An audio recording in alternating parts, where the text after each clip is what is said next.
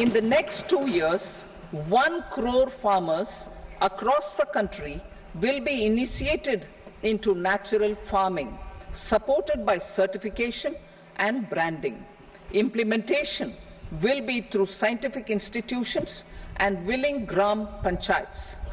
10,000 need based bio input resource centers will be established. Missions for pulses and oil seeds. For achieving self sufficiency in pulses and oil seeds, we will strengthen their production, storage, and marketing. As announced in the interim budget, a strategy is being put in place to achieve Atmanirbharta for oil seeds such as mustard, groundnut, sesame, soybean, and sunflower. Vegetable production and supply chains. Large scale clusters for vegetable production will be developed closer to major consumption centers.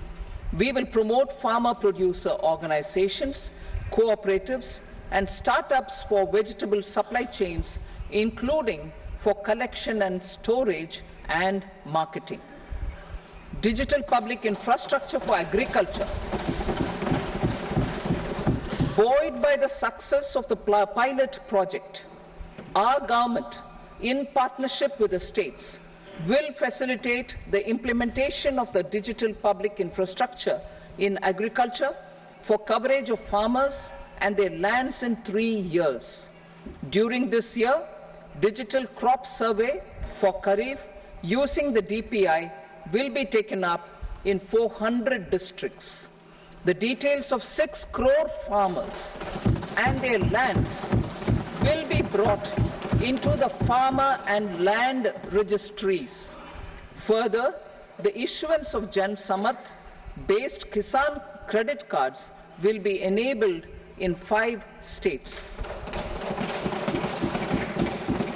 Shrimp production and export. Financial support for setting up a network of nucleus breeding centers for shrimp brood stocks will be provided.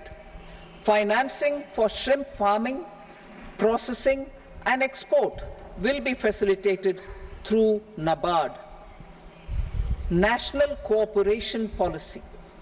Our government will bring out a national cooperation policy for systematic, orderly, and all round de- development of the cooperative sector, fast tracking growth of rural economy and generation of employment opportunities on a large scale will be the policy goal. This year, I have made a provision of 1.52 lakh crore rupees for agriculture and allied sectors.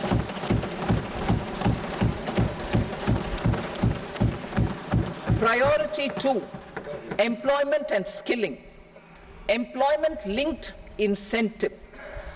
Our government will implement following three schemes for employment linked incentive as part of the Prime Minister's package.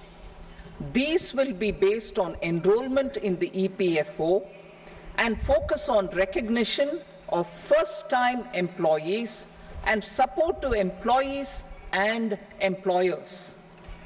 Scheme A First Timers.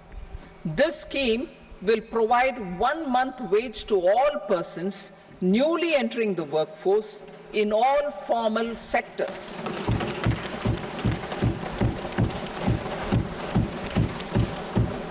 Direct benefit transfer of one month's salary in three installments to first time employees, as registered in the EPFO, will be up to 15,000 rupees.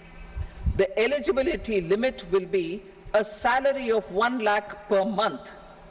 The scheme is expected to benefit 210 lakh youths.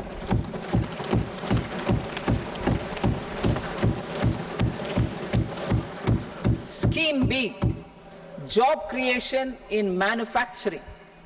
This scheme will incentivize additional employment in the manufacturing sector linked to the employment of first time employees.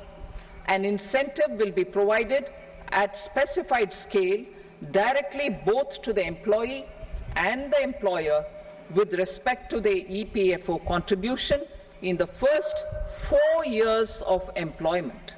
The scheme is expected to benefit 30 lakh youth entering employment and their employers. जदि आपंक आम भिडी भल लगा तेब आम channel को like share और subscribe करने को जमा भी बुलां नहीं